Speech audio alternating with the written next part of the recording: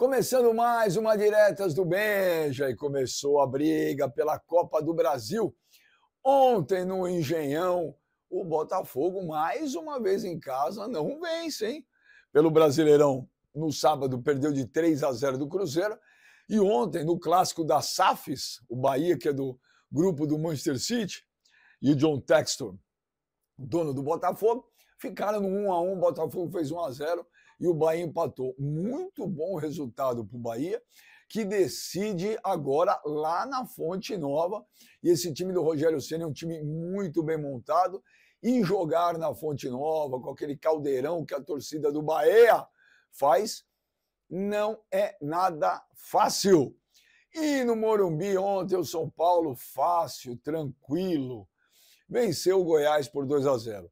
Com todo respeito ao time do Goiás, que tem bons jogadores hoje, como tem os experientes David Braz, Thiago Galhardo, o Wellington, ex-São Paulo, ex-Fluminense.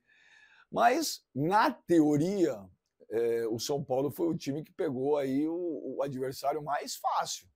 Então, o São Paulo jogou ontem tranquilo. O Goiás teve um Marcão, jogador expulso no primeiro tempo corretamente. É, no segundo tempo, o Goiás mal conseguia passar da linha do meio de campo. E o São Paulo com Luciano e Caleri fizeram 2 a 0, fácil, tranquilo, sem muito esforço e sem qualquer dificuldade. Agora tem o jogo da volta, é, onde o São Paulo pode empatar e até perder por 1 a 0. Pode acontecer um revés? Pode. Futebol é futebol.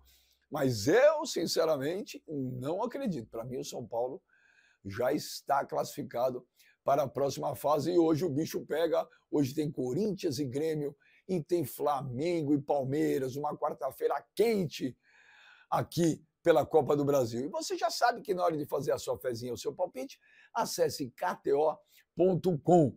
É preciso ter mais de 18 anos e não esqueça, é para brincar, para se divertir, aposte, ó, com responsabilidade. Amanhã eu volto.